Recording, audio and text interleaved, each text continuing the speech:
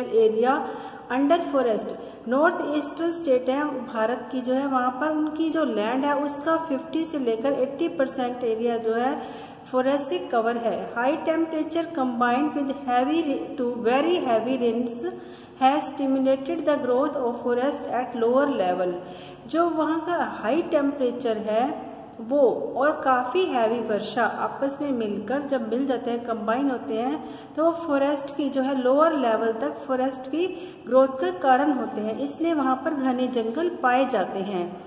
क्योंकि जो मैंने आपको क्वेश्चन नंबर सिक्स में भी बताया था कि जो हाई टेम्परेचर है, उसकी वजह से हॉट एंड ह्यूमिड क्लाइमेट के कारण और हैवी रेनफॉल होता है, वहाँ पर जो है एक क्या, काफ़ी डेंस फॉरेस्ट पाए जाते हैं।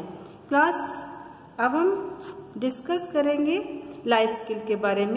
Life skill life skill we should treat tribals with love and respect हमें जो है ट्राइबल्स लोगों के साथ प्यार और आदर का व्यवहार करना चाहिए। हमने इस लेसन में डीआरसी की बंटू निग्रोज और पिग्मीज जो ट्राइब्स के बारे में पढ़ा था।